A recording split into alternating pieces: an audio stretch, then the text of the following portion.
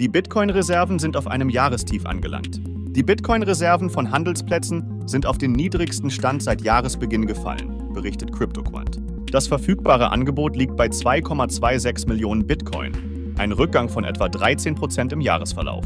Laut CryptoQuant könnte dies auf einen geringeren Verkaufsdruck hindeuten und einen Bullenmarkt begünstigen. Ein Grund könnte die zunehmende Akzeptanz von Selbstverwahrungsstrategien sein, wodurch weniger Bitcoin an Börsen verfügbar sind. Das könnte die Kursentwicklung stabilisieren. Anleger sind möglicherweise daran interessiert, Bitcoin über einen längeren Zeitraum zu halten. Diese Meldung erschien zuerst auf unserer Website.